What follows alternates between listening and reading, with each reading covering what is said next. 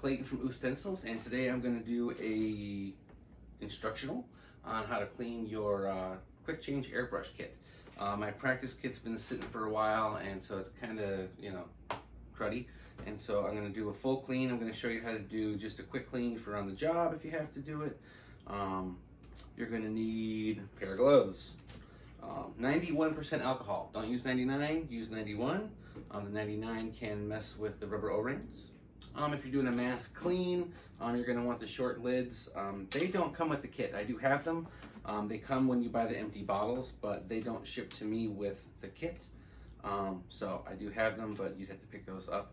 Um, I use those because I will be taking all these off and I don't want anything to fall over. You'll need an airbrush cleaning kit, whatever these things are called. I have these, be ordering these soon as well. You'll also need the little wire that came with your kit from me. Um, some alcohol in a spray bottle, alcohol bottle bottle.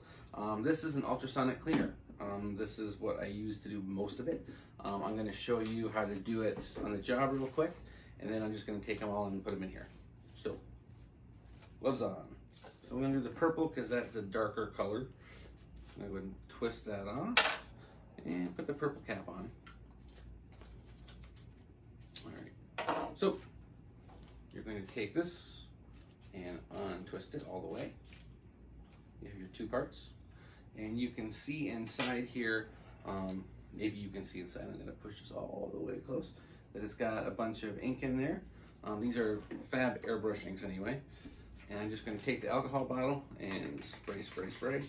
And it's coming out, so you know it's coming down good. I'm to take one of these cleaners, whichever the biggest one in that fits, I'm just gonna go ahead and go on in. And you can see I got some guck coming up. And it's kind of full. If I was just doing this, I wouldn't be putting into the cleaner, but it's all good. Since I'm gonna be using this anyway, it doesn't really matter.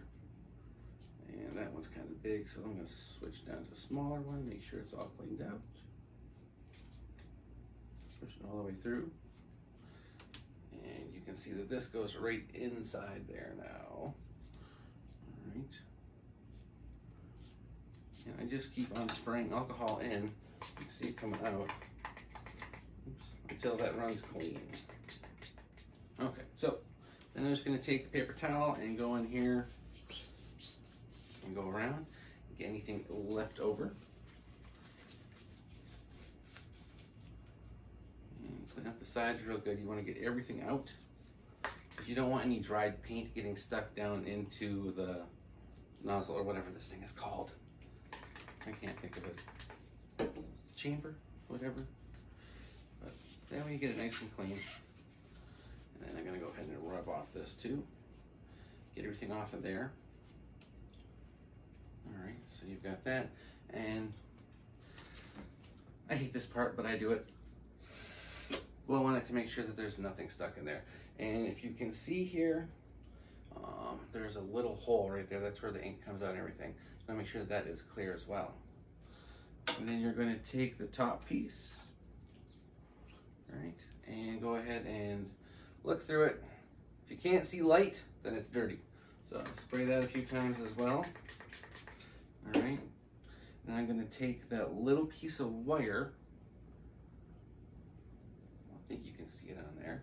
And just gonna take it and feed it through.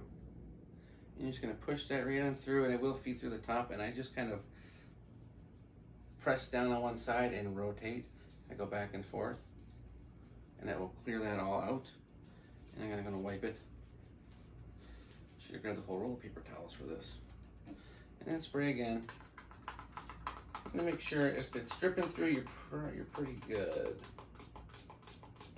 that's it. And it's pretty clean. And again, what I do with this one is go ahead and blow on it. I know it's gross, or you can just dry it. I blow on it, I don't care. But I do it from the opposite side so that it's just easier. And it's not like you're gonna be touching the kids with this stuff, and you can always clean it again afterwards with just spray with alcohol to sanitize one more time. When I'm on a job, I do keep an extra empty cartridge for every six colors I have. My kit has 14 colors, so I have two extra bottles. I also keep an extra bottle, just, you know, the bottle of white, because I go through that the most. And a couple of extra empty bottles for, I don't even know why, I just keep them in there. But what you want to make sure you can do is see through, find the holes. There it is. Okay, so when you can see through, it's done. Oh, I got ink on my new shirt. Now before you put it back together, um, I'm gonna take a little bit of olive oil. You can use silicone oil or pretty much any type of, you know, oil for airbrush. And there is a little tiny rubber O-ring right there. And you want that to spin freely. If your cartridge feels like it's getting stuck, it's because this is not oiled. So I just use olive oil and put a little bit on there and I spin it.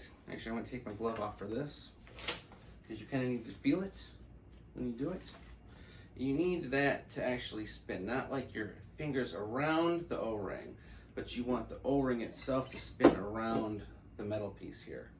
So I just take it until it spins freely. Once I know it's going, I go ahead and take this and put it back on. Alrighty. And then remember it goes right back on top here. If you don't, if you're not gonna work for a while, um, then just leave it like that. Um, if you are gonna be working, you know, that day or that weekend, then put them back on, just like that.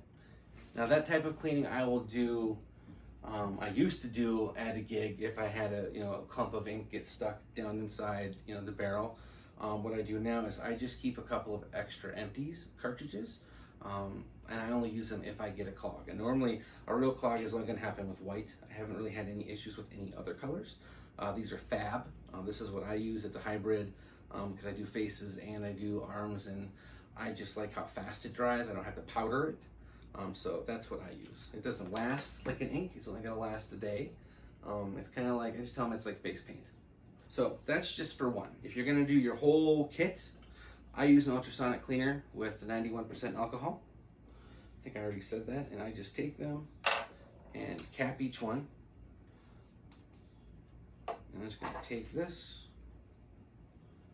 unscrew it, and put them inside, one at a time.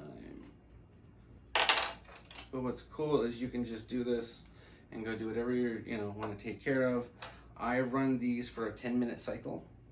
Uh, sometimes I run them for two 10 minute cycles, depending how long. Because you can see, the longer they sit unused like that, or especially if you have them sitting down unused, it will build up inside here and it will run down out here. So if you're not going to be using your kit for a while, plan to have to clean it. Um, I leave my practice kit up for the most part, unless I have a lot of balloon decor orders. And that way I can test out new stencils whenever I feel like it. As you can see, I've been testing out all sorts of new stuff lately. Oops, nope, I don't go in there. It goes back here. And again, this is really great, but you gotta have the small caps small bottle caps. Sorry. See, yeah, this one is really gummed up in there. Like I said, I haven't been, I've been traveling and I haven't been practicing that much.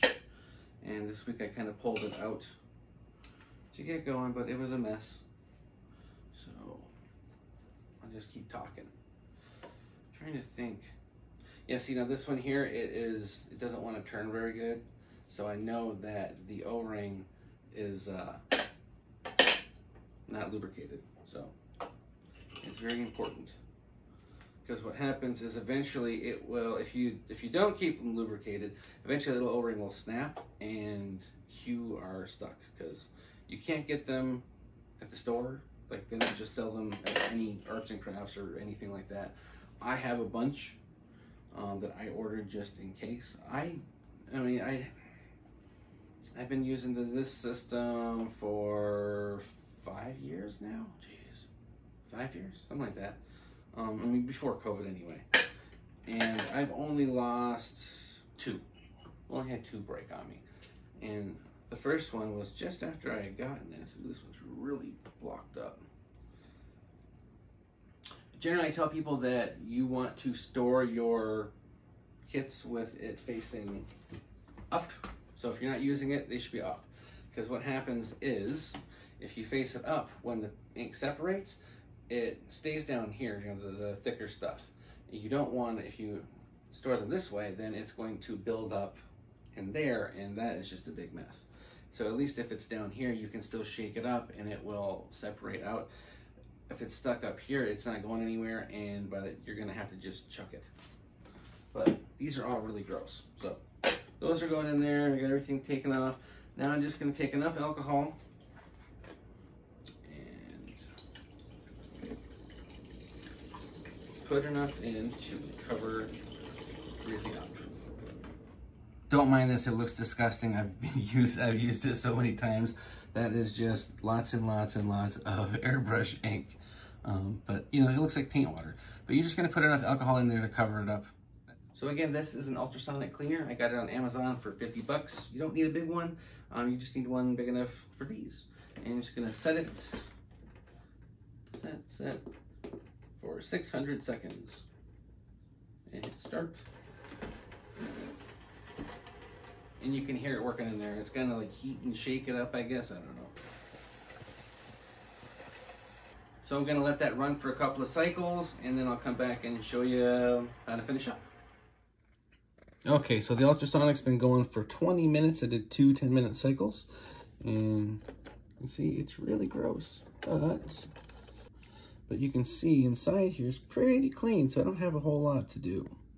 So just like before, I'm gonna go ahead and take these out and I'm going to use the uh, airbrush pipe cleaner thing and just go ahead and give them a quick little make sure they run clean or as clean as that water is.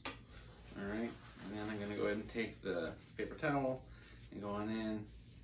You shouldn't get too much there's still going to be some left in there but you're not going to end up I'll even dip it a little bit but you're not going to end up with like the gobs and gobs of paint that were in there from before so I'm just gonna clean it out, wipe it off.